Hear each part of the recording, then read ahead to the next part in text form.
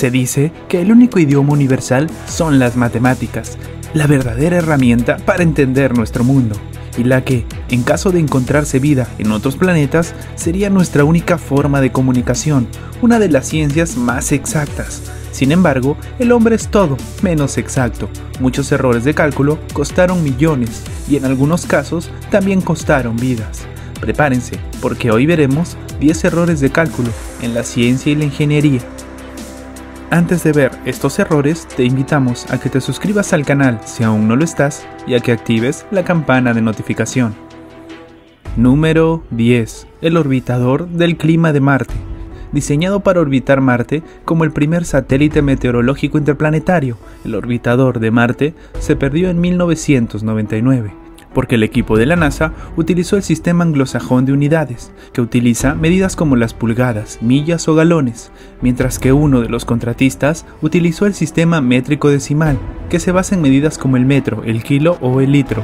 La sonda, de 125 millones de dólares, se acercó demasiado a Marte cuando intentaba maniobrar hacia su órbita y se cree que se destruyó al entrar en contacto con la atmósfera del planeta, una investigación dijo que la causa original de la pérdida fue el error de conversión de las unidades inglesas a unidades métricas. Esto realizado por una pieza del programa informático que operaba la nave desde la Tierra.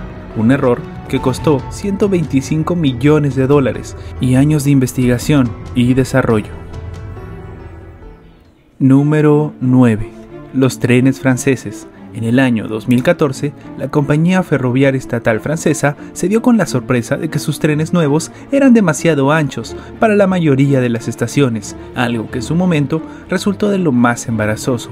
En este caso, se gastaron 20 millones 500 mil dólares en la compra de 2.000 trenes, que no entran en muchas de las estaciones francesas.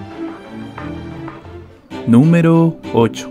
El planeador de Gimli. En 1983, un vuelo en la compañía Air Canada se quedó sin combustible cuando volaba sobre el pueblo de Gimli, en la provincia de Manitoba.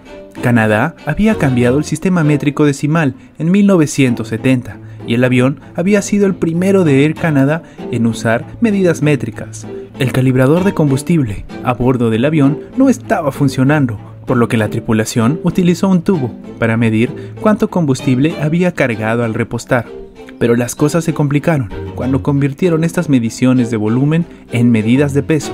Tenían el número correcto, pero mal la unidad, al confundir libras de combustible por kilogramos. Como resultado, el avión llevaba alrededor de la mitad del combustible que creían. Por suerte, el piloto fue capaz de aterrizar la aeronave en la carretera de Gimli, con gran destreza y simplemente planeando mientras bajaba. Número 7 la nave Vasa. En 1628, una multitud presenció con horror en Suecia el hundimiento del Vasa, un nuevo buque de guerra, a menos de 2 kilómetros de la costa y en su viaje inaugural. En el suceso murieron 30 tripulantes, armado con 64 cañones de bronce. Había sido considerada como el barco de guerra más poderoso del mundo. Los expertos que lo estudiaron desde que fue sacado del fondo del mar en 1961 dicen que la nave es asimétrica, más gruesa a babor que a estribor. Una razón para esto podría ser que los obreros que la construyeron utilizaron diferentes sistemas de medidas. Los arqueólogos han encontrado cuatro reglas usadas por los constructores. Dos estaban calibradas en pies suecos, que tenían 12 pulgadas, mientras que otras dos medían pies de Ámsterdam, con 11 pulgadas. Número 6. La pista de biatlón de Sochi.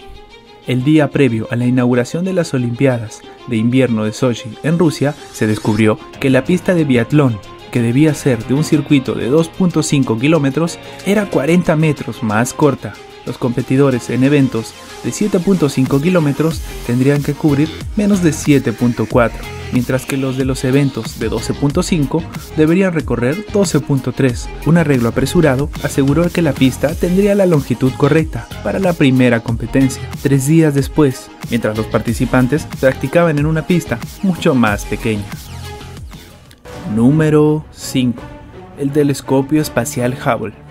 El Hubble es famoso por sus hermosas imágenes del espacio y se considera un gran éxito de la NASA sin embargo, despegó tras un difícil comienzo. Las primeras imágenes que envió eran borrosas, porque el espejo principal del telescopio era demasiado plano, no por mucho, solo 2,2 micrones, algo equivalente a unas 50 veces más delgado que un cabello humano, pero lo suficiente como para poner en riesgo el proyecto. La teoría más aceptada es que una diminuta mancha de pintura en el dispositivo usado para probar el espejo provocó las mediciones distorsionadas. Afortunadamente, los científicos lograron solucionar el problema usando un increíble instrumento llamado reemplazo axial correctivo óptico de telescopio espacial, algo que resulta bastante impresionante para ser 1993. Número 4. Big Ben. La campana del Big Ben en el Parlamento de Londres se rompió en una prueba en 1857 y fue fundida para ser moldeada de nuevo. Pero la nueva campana, cuya colocación llevó tres días en 1859, se rompió también rápidamente. Se encendieron las disputas sobre quién era el responsable. Se inició incluso un proceso judicial de difamación. Una teoría es que el enorme percutor, que pesaba 6.5 centenas, alrededor de 330 kilogramos, era demasiado pesado, al menos para la aleación particular de la que estaba hecha la campana, 7 partes de estaño y 22 de cobre. Los fundidores que moldearon las campanas siempre argumentaron que este material era demasiado frágil. La segunda campana no fue reemplazada. Al día de hoy todavía está rota. Solo se giró su posición. El percutor en cambio, fue reemplazado por uno más ligero. Número 3. El puente de Laufenburg. ¿Qué es el nivel del mar? Varía de un lugar a otro y diferentes países usan distintos puntos de referencia. Por ejemplo, el Reino Unido ha medido la altura en relación a los niveles del mar en Cornwall, mientras que Francia mide la altura en relación al nivel del mar en Marsella. Alemania, por su parte, mide la altura en relación al Mar del Norte, mientras que Suiza, como Francia, opta por el Mediterráneo. Esto provocó un problema en Laufenburg, un pueblo que tiene un pie en Alemania y otro en Suiza. A medida que las dos mitades de un nuevo puente se acercaban en el 2003, se hizo evidente que en lugar de estar a la misma altura sobre el nivel del mar, un lado estaba 54 centímetros más alto que el otro, los constructores sabían que había una diferencia de 27 centímetros entre las dos versiones del nivel del mar, pero por alguna razón se multiplicó en dos en lugar de restarse. El lado alemán tuvo que ser bajado para poder completar el puente. Número 2.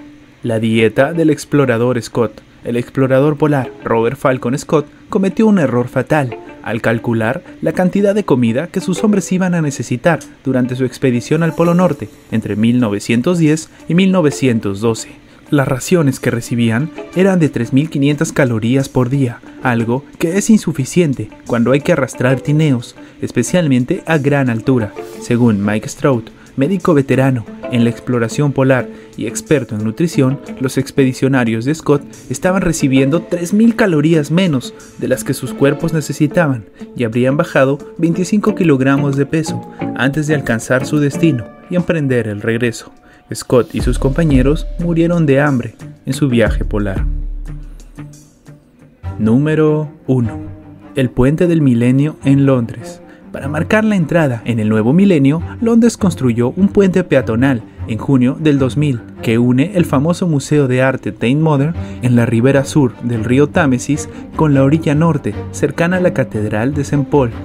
Sin embargo, la gente se dio cuenta de que la estructura de 350 metros de largo se tambaleaba de forma alarmante cuando caminaban sobre ella una de las dificultades del diseño de un puente peatonal es el efecto de las pisadas sincronizadas. A medida que el puente rebota o se balancea, la gente ajusta sus pasos al ritmo de los movimientos del puente, magnificándolos sin darse cuenta.